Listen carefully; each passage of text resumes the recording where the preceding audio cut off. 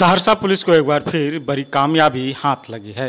Police ने कार्रवाई जैसे घातक हथियार के साथ पिता पुत्र को गिरफ़्तार करने में सफलता पाई है। पुलिस अधीक्षक कार्यालय में आयोजित प्रेस कॉन्फ्रेंस के दौरान डीएसपी एजाज हाफिज मानी ने कहा कि सदर थाना अध्यक्ष को गुप्त सूचना मिली थी कि विद्यापति नगर वार्ड नंबर 16 स्थित राजेश्वर झा के यहाँ कुछ अपराधी हथियार की खरीद बिक्री हेतु एकत्रित हुए हैं। सूचना के सत्यापन के बाद प्रशिक्षु डीएसपी निशिकांत भारती के नेतृत्व में एक टीम गठित की गई।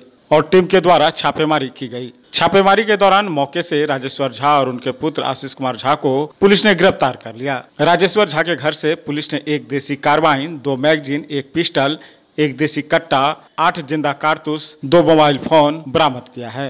पुलिस द्वारा गिरफ़्तार अपराधियों का आपराधिक इतिहास भी खंगाला जा रहा है और कई बिंदुओं पर जाँच प्रारंभ कर दी गई है।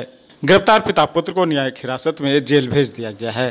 कल रात में करीब ग्यारह बजे एक सूचना प्राप्त हुई, सूचना के में प्राप्त हुई कि विद्यापति नगर में वार्ड नंबर 16 में एक राजेश्वर झा जी हैं, राजेश्वर झा हैं, जिन जिनके पिता का नाम स्वर्गीय रामचंद्र झा है। उनके घर पर बड़ी मात्रा में हथियार, अवैध हथियार रखा हुआ है, संभवतः खरीद फरोख्त या किसी घटना को अंजाम देने के लिए। इस घटना की सूचना जब प्राप्त हुई तो सत्यापन के लिए जो है, एसएचओ सदर को लगाया गया।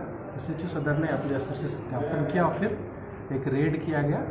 रेड किया गया प्रशिक्षु पुलिस उपाधीक्षक जो हमारे साथ हैं, निशिकांत भारती जी के नेतृत्व में, साथ में थे सुधाकर जी पुलिस थाना अध्यक्ष जो पुलिस निरीक्षक भी हैं, और ब्रजेश कुमार चौहान जी, सदर थाना के सहायक अवर निरीक्षक अशोक कुमार सिंह, पैंथर के जवान थे। ये लोग मिलकर के रेड किए।